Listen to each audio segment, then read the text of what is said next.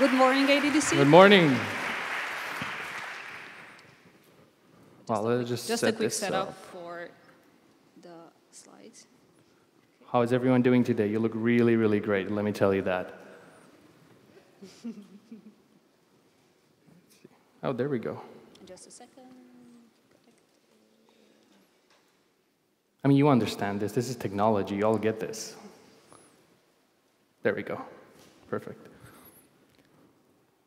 Wow, everyone, we're super thrilled to be here. Thank you so much for the organizers for, for having us here. It's so nice to be amongst so many great and talented people like yourselves for the next, next few days. And we're super humbled to be the ones to actually open up the conference. And um, we're no pressure. We're going to be fine. Everything is going to be good, hopefully. And uh, today we want to talk to you about innovation and how we approach problem solving as a design agency. We're going to share with you mistakes that we've done. We're going to talk about solutions that we found that work. We're going to show you examples of how we do design sprints and how the outcome of a design sprint looks like. But before we jump right into that, let's get acquainted really, really quick.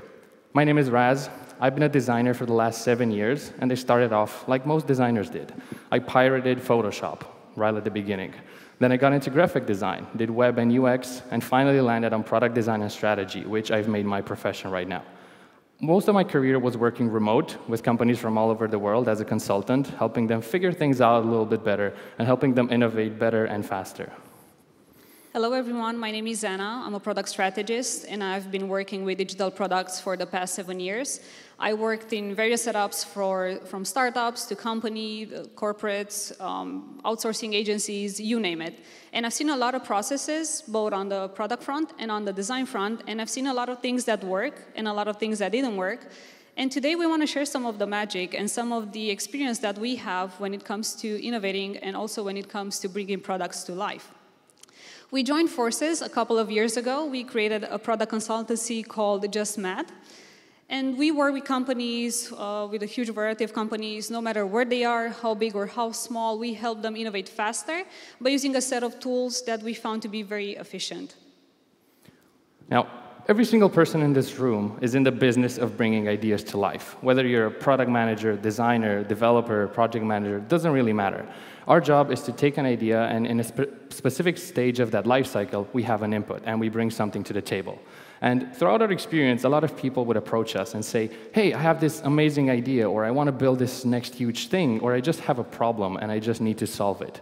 But what we've seen throughout this process is that every single project that we would start would look something like this at the beginning, when it comes to understanding what you need to build, doing research, doing all of that, that initial stuff is really cluttered. There's a lot of guesswork, there are a lot of unknowns. But as time passes, you kind of figure things out and you come up with a concept, and when it comes to implementing, things get really, really easy. Now, we try to figure out, and looking back through our experience, trying to understand what are the pathways that a company or a team would take to take an idea and actually launch it. And we've identified four patterns that uh, basically stand in the way of innovation. And we'll go, go through them one by one. The first pattern that we notice is that you have an idea or you thought about a solution and then you start building it very confident. You put a lot of money, a lot of resources in it, and then eventually, very proudly, you're launching it. Just a second, my slider. And now you're thinking, okay, now that we launch it, let's ask marketing to sell it. Because why not? Obviously, this is a bad idea because you don't bring enough value to your customers. You should be first asking them what they need and what they want, and then invest with confidence. The second pattern that we notice is that you have an idea, but you sidetrack a lot. There's clearly a misalignment in the team, or stakeholders are not sure what the business goals are, and eventually you end up in a situation when you do not launch, this will be a flop because there's no clear vision, obviously. And again, another pattern that we notice is that you start with an idea and you start building it. You want to make it perfect. And you're just piling feature after feature. Perhaps you start seeing something that your competitors are doing and you want to add that to your product. And eventually you will end up in a flop because the product will never get to see the light or it will never get into the hands of your users because it takes too long. And the last one that we notice is that you have a lot of great ideas and you have multiple solutions that you can solve, you can bring to the market, but you try to do them all at once. Obviously, this is not a good idea because you cannot put all your resources and all your energy and time into a lot of places. Eventually, this will end into a flop because, again, there's a huge lack of focus. So after working with so many teams, we realized that there's a huge uh, reckless spending and no focus on what needs to be done. There's no early validation because people start to fall in love with the solution rather than falling in love with the problem that they need to solve, and they're very confident, and they think that they are the user and they know everything. There's a lot of reckless spending and there's no focus, and you start building and building, and you, are not sure where it has to go. You make unconfident decisions, you just make assumptions, and you're making sure that you're trying to do the best thing that you can, but obviously you're not asking the people that are going to use your product. And the last one, and the one that we've seen it so many times, is that you focus a lot on the output and not on the outcome. So instead of focusing on the value that you're providing for your user, you're focusing on the features that you have and piling feature after feature because it looks good on the roadmap. Well, we think that our job is to solve problems, and we heard a lot of people evangelizing the idea of focusing on the user needs, and we totally agree with that. But as problem solvers, we think that you also think about the business goals, and you have to find an efficient and effective way to bridge these two.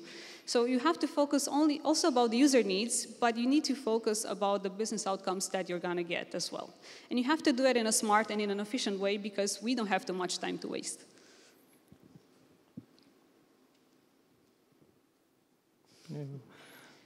So after seeing so many cases of flops and unsuccessful products that never reached the market, we ask ourselves, how can we get from idea to a quick validation and then start building it confidently and then launch it?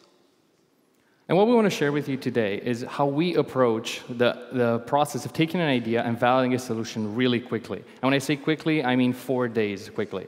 We know it sounds crazy, and we've trialed and errored a lot trying to find a recipe that works. And the way we make this function is by using design sprints.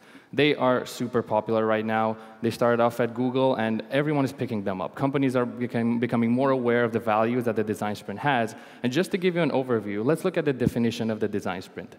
The design sprint is a four-day process that allows you to solve big challenges, create new products, and improve existing ones in just four days. And it can literally compress weeks or even months of work in a very short amount of time.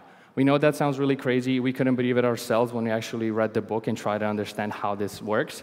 But we've tried it, we've bulletproofed it, and it really, really works and really yields some really great results. And just to sum it up, you can solve big challenges, you can create new products or validate ideas quickly, and improve new exist existing products in just four days. And let me just walk you through the process of how the design sprint is engineered. Everything starts with the challenge. You, have, you either have an idea or you have a challenge that you need to focus on.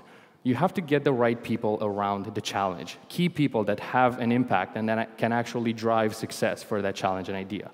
You get those people in a room for a few days, and you generate a mass of potential solutions, right? Everyone has their input. Marketing has one input, development has one input, design and product can have a different input. And you generate these, this amount, insane amount of solutions, and you just pick one.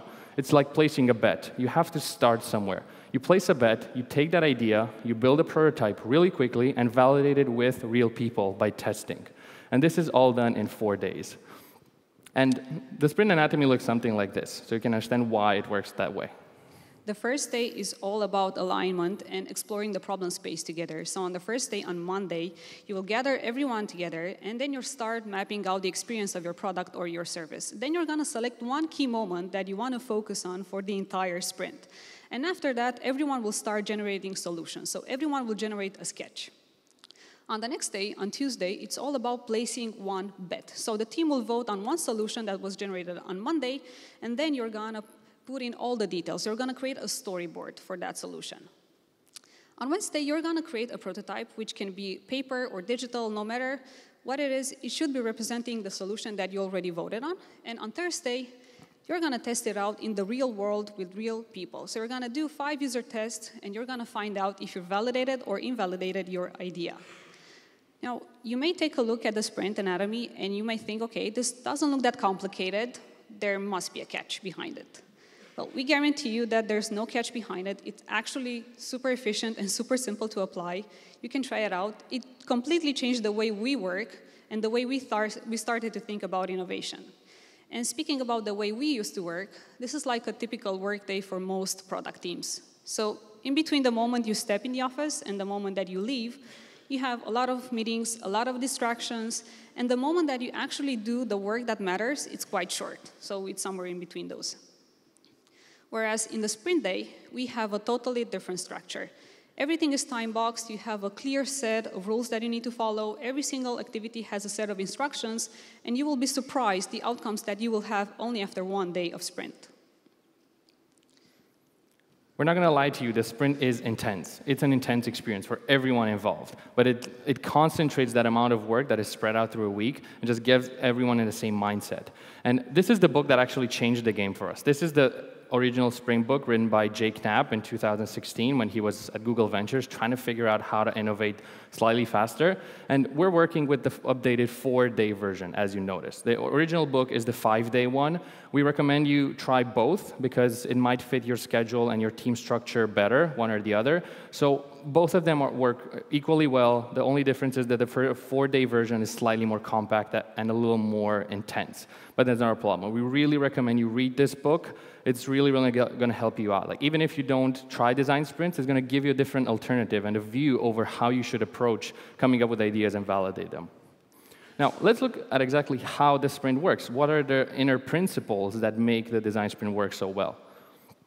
The first core principle about the sprint is that getting started is more important than being 100% right. Remember the example that we had where you actually never get the chance to launch your product to the market? The sprint is all about gathering momentum, moving fast. It's about placing a bet. Stop second guessing. So you will see that at the end of the sprint, you will actually have one validated prototype. The second really important principle is that having tangible results is way more valuable than endless discussion.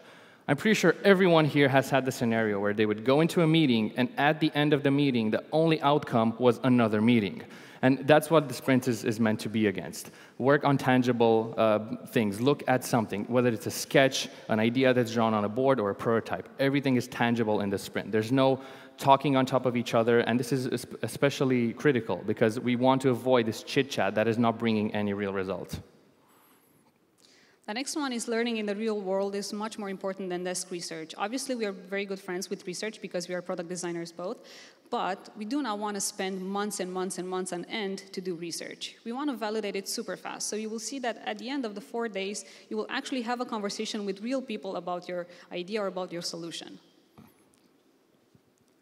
One interesting principle is that on the design sprint, you don't have to rely on visual design skills. Although it's called a design sprint, everyone from the product team can contribute. You don't need to be this incredible artist. You don't need to draw pretty rectangles and circles and, and characters. You just need to have ideas. And the way the sprint is designed is flexes your creative muscle and allows you to come up with great ideas without needing for you to be an incredible artist. And the next one might sound a bit sad, but it isn't. It's actually super efficient together, but alone. So in the sprint, the team will gather around and they will work together at the same time on the same problem in the same room, but they will work individually. So there are no distraction, no unnecessary conversations, no unnecessary meetings, just pure work on what needs to be done. Now, let's take a look at how the sprint compares with other methodologies that we have out there. The first one is design thinking, and I'm pretty sure that most of you are aware of the design thinking framework. So it's a methodology or a philosophy, if you may, a way of thinking about solving problems.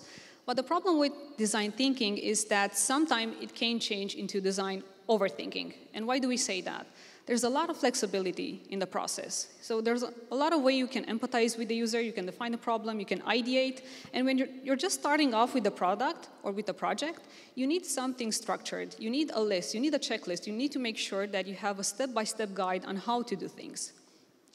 The next one is Agile. This is a way of working, a set of guidelines for how team works. I'm pretty sure that all of you are familiar with the uh, Dev Sprint. Actually, Jake Knapp, when he wrote the book and he called it a design sprint, he wanted to make it more similar to the Dev Sprint and make it similar to the devs and make it sound like fast and also quite catchy. They're, they have some similar concepts, but they're not exactly the same thing. And then we have the design sprint. This is a recipe, a clear process of solving problems.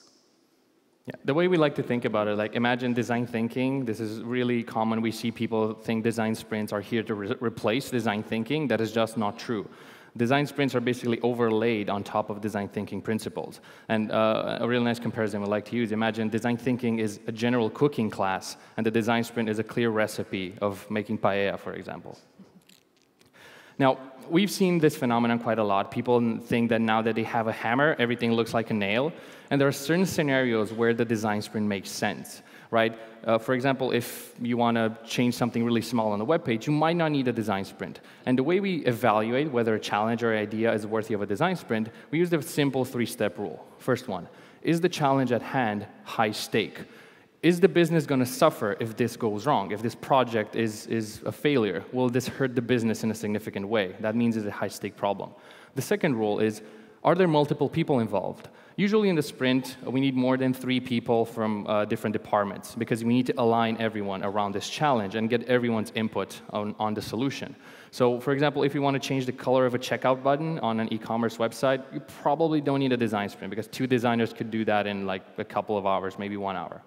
And the third rule is, is this an urgent thing? Do we need to solve it immediately? Is the business bleeding money because of this? For example, you might have a high sign-up rate, but people leave your uh, product after, I don't know, one usage. Then that's, that's critical. You need to look at that because you're losing people by the minute.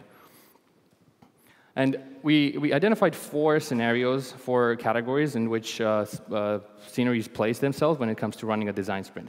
You want to run a design sprint when you want to validate an idea really, really quickly, right? Whether it's a new product or an idea you want to test out, it helps you move really fast.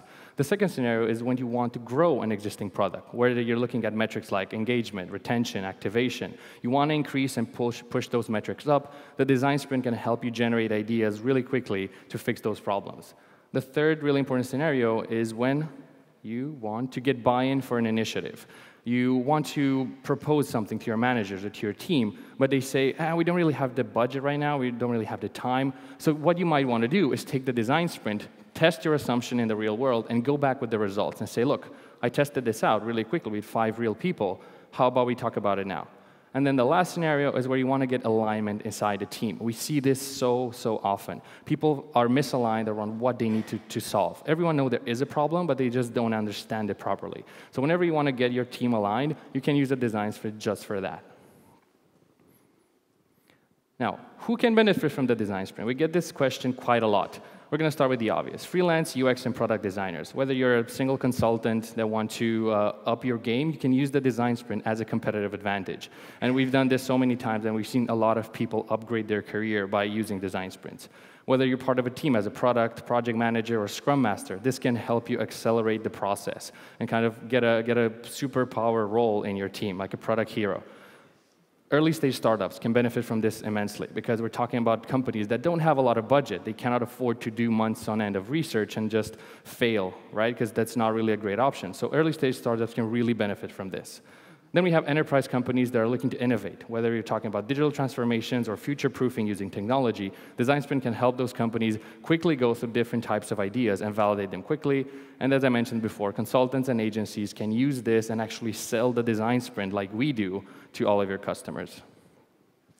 Let's take a look at who needs to be in a sprint. Let's talk about the sprint team. Ideally, we recommend to have in between four to seven people. Anything below can become very subjective, anything above can become quite messy. Now, we're very careful and we quite try very often to handpick these people. It's super important to understand the value that they're going to bring in the sprint. Looking at the roles that we have, the first one is the facilitator. This is the person who will orchestrate the sprint. This is the person who makes sure that each exercise is done correctly, everything is on time, and everything runs smoothly. The next role that we have is the decider. This is the person who, in the real world, actually has authority over the product and also is the person who calls the shot. And depending on the type of or the size of the company that you're working with, it can be the CEO for a startup, or if you're working in a corporate and where it would be a bit difficult to get the CEO in the same room for a couple of days, it might be the product manager or the chief product officer or an important stakeholder. And then we have various members depending on the industry, vertical, or the type of product or service that you're working on. It could be tech, sales, customer support, it could be marketing, it can be communication, design, you name it. Usually, it should be someone who has actually a valuable input on the product or the service that you're trying to build. And before jumping into the example that we prepared for you, we just want to leave you with a couple of ideas that we identified about the design sprint. So it completely changed the way we used to work, and it drives us to make more informed decisions instead of just guessing and making assumptions. The next one is, I'm pretty sure that you found this quite often, there, there's a lot of misalignment in teams. There's a lot, a lot of misalignment in teams that work in the same space together. Imagine what we can find in teams that are distributed. So you will get a lot of clarity and focus if you just apply one sprint you start to focus on the outcome and you're not focusing on the output anymore that much. So it's not about the number of features that you're piling up, it's about the value that you're gonna bring to your customer at the end. And the last one, you're gonna do some confident building and you're not gonna spend money, time, and resources with no use in building something that people do not want or they do not need. Now, we know this was quite a lot. We went through a lot of things, a lot of concepts. And we think the best way for you to understand how the design sprint is valuable is we can actually look at an example. And we're going to do just that. Some of you may know who this guy is. His name is Chris Heria. He's a, quite a huge fitness influencer when it comes to calisthenics. And he approached us and said that he wants to build a fitness app where people get customized training programs based on their needs, right? So he approached us. He said, like, I need this quickly. And this was obviously the perfect, perfect opportunity for us. Remember the three rules? First of all, it was high impact problem. He needed that for his business because that was his competitive advantage. Second of all, there were multiple people involved. We had uh, content, the CEO, marketing, design, development. We have multiple people involved that need to bring their input. And the third one, it was critical in terms of time. He needed urgent attention because he was losing users because he didn't have uh, this component and didn't have something to differentiate himself. So we started with this challenge, and as I mentioned, we got the right people around it. We had the designer, which was myself, the product manager, which was Ana, an engineer, the CEO, and someone from marketing. We got these people around this challenge, tried to understand it, and we generated a mass of potential solutions. We started brainstorming. Every single person in the team came up with a concept. And the concept is basically a sketch on paper, and it looks something like this. This is actually the one that I've done. And I'm a designer, so as I mentioned, you don't need to focus on visual design skill. I just put my phone on a piece of paper, drew the outline, and starting drawing boxes. And this flow is meant to be uh, the idea of, of, a customized workout builder. This is how it looked like. And this was something that was done in 45 minutes. And every single person in the sprint team did this, this exact same thing. But this one got the most votes, and it actually went into prototyping. And just this is by the end of the second day. So in two days, we understood the challenge, we understood the needs, and we generated solutions. And created uh, this sketch and then a storyboard. And this is the actual prototype that we tested out with. This was built in one single day by two designers, myself and one more person in our team. And I'm going to play this. This is an InVision prototype. And this is what we actually tested with five real people the following day. And we validated that this solution was really, really good for what, uh, what Chris wanted. So you would choose the workout generator. You would tell it what uh, type of workout do you want. You want to go with calisthenics, then go next. And then it would tell you the workout style. I want to do fat burning. You would go next. What muscle groups? Let's go for abs and chest. Go next. Then we're going to have the length. Do we want uh, warm up or not? And then we're going to choose the difficulty level. And this is just a few seconds. And after this, the app would generate you a fully custom workout just for you, which you can customize, add, retract exercises, change the number of reps, and you can just adjust to it. And basically, after that, you would save it. So this is just one day of work to create this prototype, which we actually tested. And right now, if you go to the App Store and search for Heria Pro, you're going to find this exact same flow implemented. This would traditionally maybe take more time than just four days to ideate, sketch, prototype, and test. And this is what the, the benefit of the design sprint is fast validation and confident building afterwards. We didn't have any second guessing when the developers started working on this. They knew exactly what they needed to build, and they knew exactly this is going to work because we validated it really, really fast. So this was our recipe. This is how we actually take an idea, validate it really quickly, and then build with confidence. And just to, to sum up the benefits, the sprint helps you ideate and validate an idea really quickly. It helps you confirm a good direction before investing and putting in time, energy, resources, money.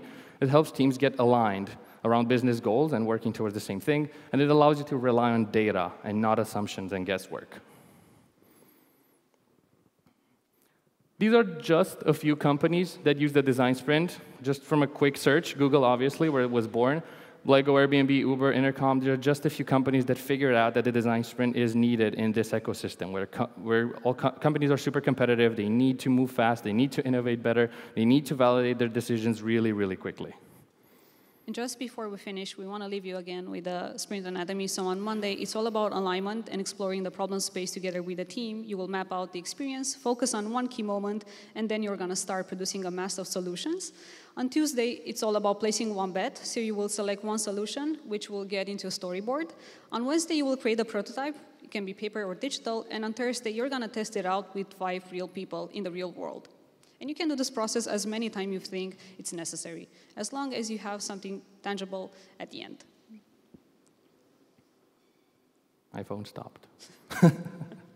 right at the end. Okay, mine too. Oh no. Okay. Thank you so much.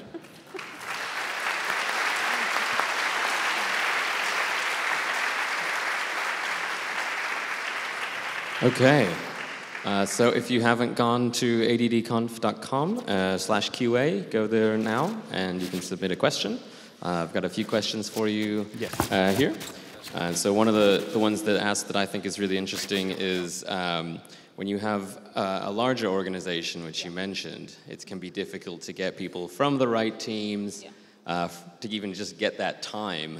How do you go about working in a large organization to get that space to do what you need to do? Should I take this one? Yeah, okay. can take it. Uh, I think that here we have two important points to mention. The first one, so we work a lot with big companies, and first of all, it's super important for us to explain the value of the process, and sometimes we don't even call it a design sprint, we call it an innovation workshop, because people are not familiar with the framework yet. And the way we identify the people that needs to be in a sprint, we draw a matrix, influence and interest, and we try to map out that matrix with the people that we have in the team. We have a preparation week before we actually start a sprint, so we never just go there a, to a company and we start a sprint right away. We need to understand a bit the problem that they're trying to solve. And then we identify the key members and the key stakeholders that are involved in that project.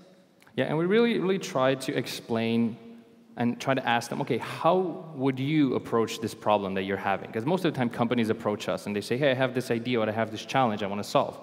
We tell them, how would you traditionally do it? Well, we would do a brainstorming session. We've got a few people here and there. We're just going to spread out across a few weeks. And then we ask them, like, what if I told you you could actually compress everything into one week and validate your idea really quickly? And they're like, how do you do that? And we give them a similar presentation to what you've seen and try to explain all of those things. And they get really interested. And we try to uh, spread the design sprint like a virus. We try to talk to as many people and get them excited because in, from a team, like if six people are really, really excited about it and want to try it out, they're going to ad hocly convince everyone to join. And we know it's hard to get stakeholders in the room because they're really busy all the time and it might, might get really complicated. But if we plan in advance, they can actually reserve a few hours in the first two days to join the design sprint and help out.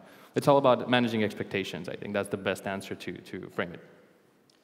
Great. Another question that got a lot of upvotes was asking about four days instead of five. Uh, so if people, some people look like they're familiar already with the format, uh, what made you decide to go to four days, and is there anything that you cut to make that happen? Okay, so we found it to be way easier to sell it. So instead of five days, we actually spend only four days with the company, out of which two are workshop days. So Wednesday, the prototyping part and the testing, it's on us. So they only need to spend two days. This kind of couples with the first question, how we managed to sell exactly. it. And we did so because we managed to uh, com compress the first two days, but we do a lot of preparation before. Yeah. That's how we managed to make it four days and not five. Yeah, this is, this is something that we found worked for us. So the first sprint that we did was completely unprepared. We just went into the sprint and followed the book, the recipe in the book. And we noticed that we need a little bit of preparation, especially as consultants. We jump from one industry to another, and we need to get up to speed really quickly, and we need to understand exactly what we're up against. So we do this kind of like preparatory week that takes a few of the pressure of the actual sprint week in our hands, and we do that. And that way we can actually do the four, four-day compressed version. Great. Uh, an another couple questions about the validation step. So, uh, in day two, if that doesn't work, uh, what do you do? And also, how you decide that it is working or not? How do you measure that success of that prototype? Mm -hmm. So, for day two, if we figure out that the solutions are not are not okay, like if the solutions are not good. The thing is that everyone is involved. Like Ana mentioned, one of the principles that we work together but alone, and everyone has to come up with one concept. And all the, like the, the series of exercises that happen in the sprint are meant to take you from the problem space and slowly transition you to the solution space. And you're basically going to have all the tools and the knowledge to come up with a concept. We've had this scenario where people would come in with preconceived ideas, and that's fine. Because what would happen in a traditional work process? That person would push their idea forward no matter what. But in the sprint, everything is kind of like democratized, and everyone has some input. Everything is all about voting. Everyone uh, places their votes on what they think the best solution is. And even if, let's say, a, a, a big stakeholder still wants to push their idea forward, that is fine. Because if it's going to be successful, everyone's happy. But if it's going to be a failure, you fail within four days, not a few weeks. Right? So even if, if we find that the solutions are not satisfactory, it's not really that big of a problem because we're still placing a bet and we can work and combine multiple solutions together to come up with a great uh, outcome.